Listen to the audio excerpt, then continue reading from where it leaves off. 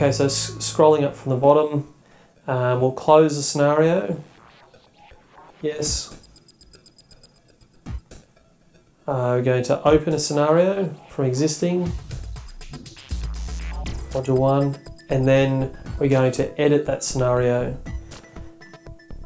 So center can be selectable, center on that.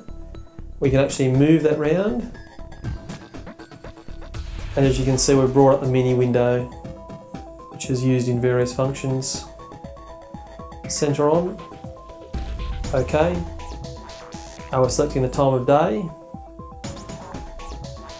Or you can select to use the AOU time. I'm going to select the 120 degree radar the weapons selection, three, three weapon one, one weapon two, three weapon three.